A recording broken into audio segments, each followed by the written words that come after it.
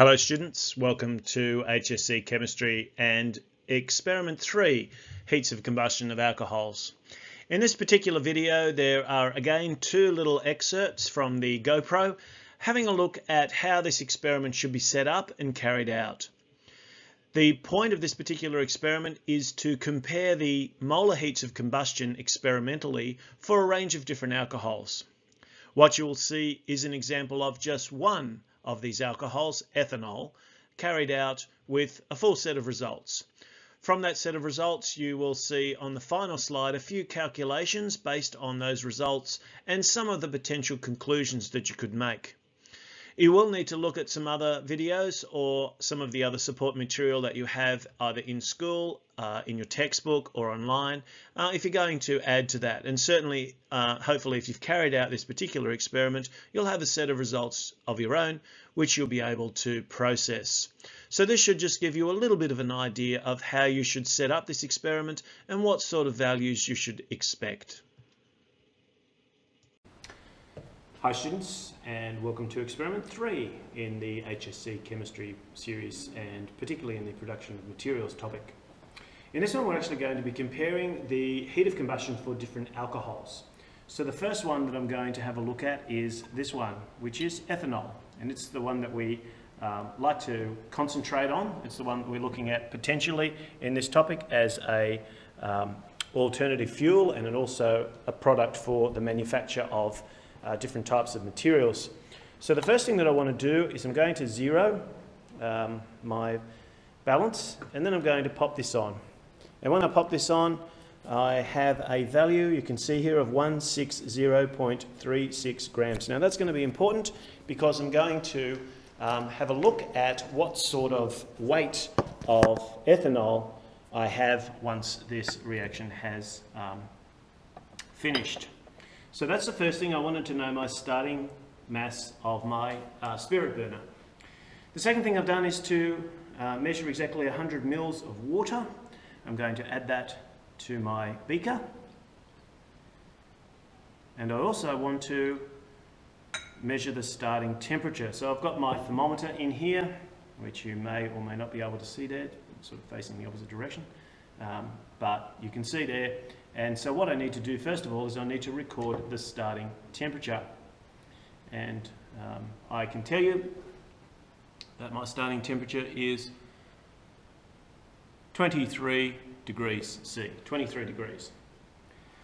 So then what I want to do is I want to try and uh, calculate a value for the molar heat of combustion. So what we want to do is we want to heat up this water for a certain period of time and uh, we're going to do that by using the uh, ethanol as a fuel source.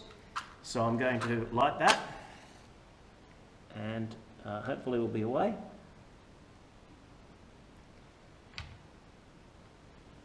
And then the, as the ethanol burns, it's going to uh, heat that water up. And so we're going to be able to see a change in the temperature. Make sure that's a light, it is. So I'm going to watch and I want to have a value of probably around about 20, 20 degrees increase in temperature.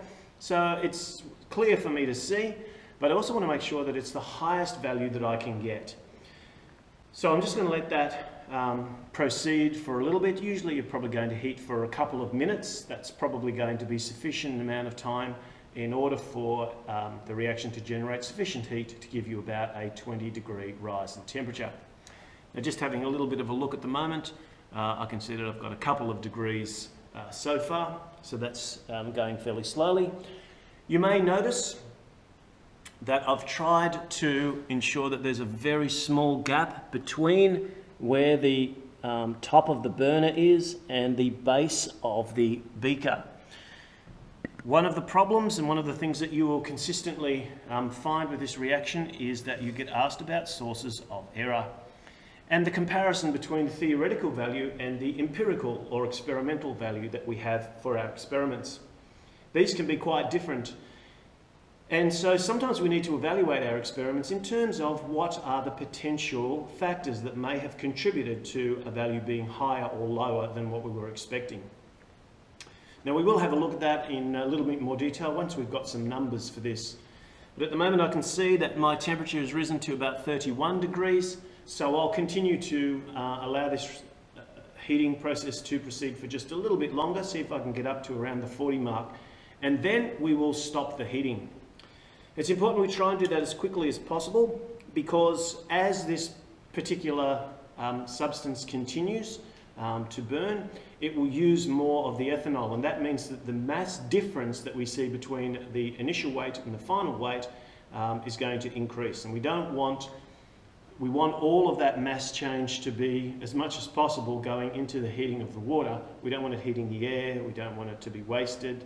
You can see I'm sitting it on a clay pipe triangle, not a gauze mat, and that's because I don't want the heat to be spread out evenly this time. I want all the heat directed straight onto that beaker, heating up that water.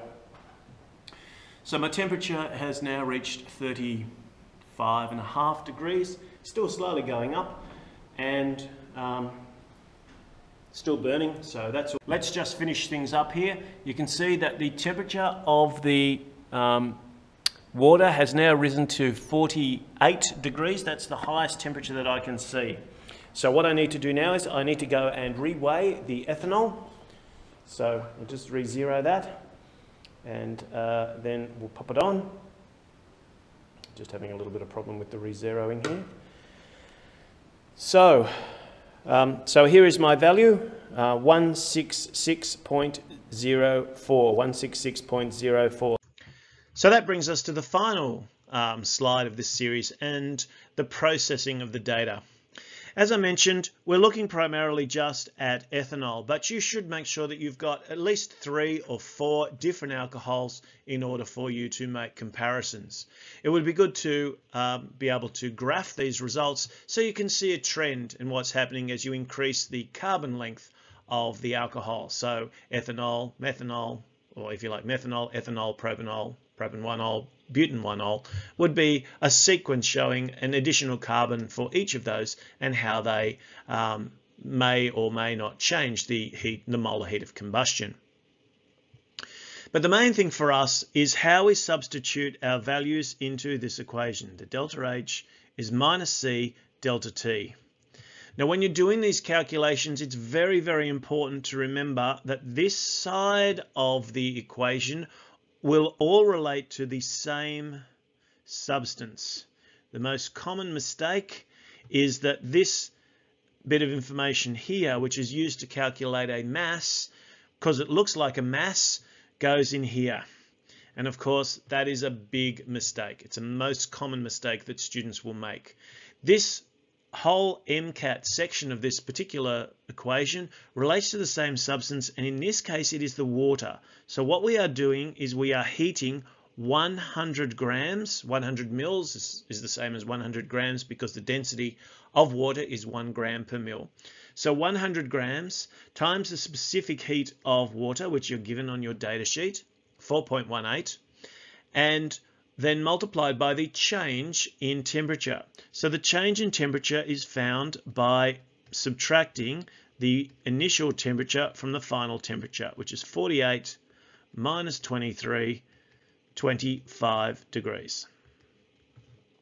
Now this is actually a value in Kelvin, but because we are looking at a difference, the um, the difference, the, the number of um, degrees that we move up through the Celsius scale is the same as the number that we move up through the Kelvin scale. They just start at a different point. So 25 is fine. So therefore, if we look at the delta H value from our experiment, we have minus 100 multiplied by 4.18 multiplied by 25.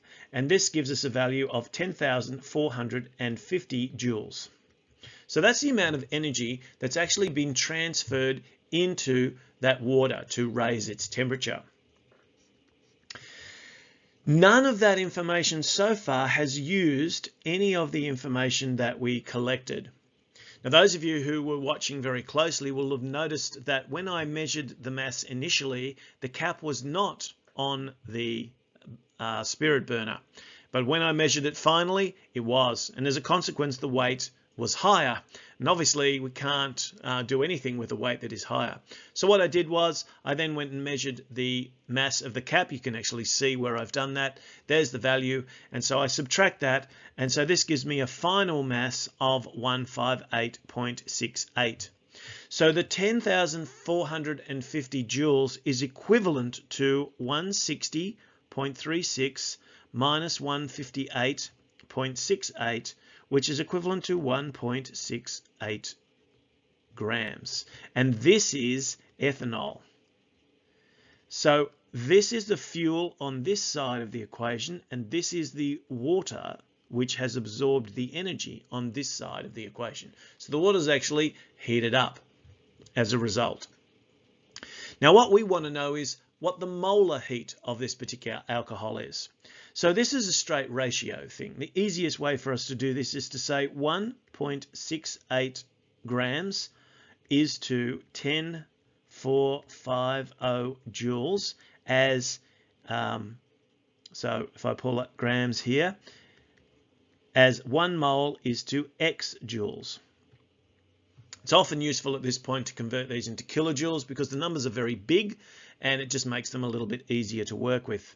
But this is actually in here, I need the molar mass of ethanol. So I need to calculate from my formula C2H6O, I need two 12.01s, I need six 1.008s, and I need one 16, which gives me 46.068 grams. So that's what goes here, 46.068. So what I do then is I just have a straight ratio. If I multiply across to get rid of these, then 46.068 multiplied by, now I'm going to call this 10.45 kilojoules, divided by 1.68 gives me an overall value. I'm going to just change, uh, pop a little orange color down here. So you can see going up here, sorry, over to the left, um, gives me a value of 286.55 uh, kilojoules per mole. So this is the molar heat of combustion, the experimental or empirical molar heat of combustion of this particular um, alcohol. The problem that we have is that when I look at the experimental value, I find that the experimental value, so the theoretical, theoretical is closer to about 1367 kilojoules per mole. And one of the uh, common questions that you're asked about this particular question is why there is a difference between the empirical value and the theoretical value. Now clearly this is a big difference and hopefully you'll get something that's a little bit closer than this difference.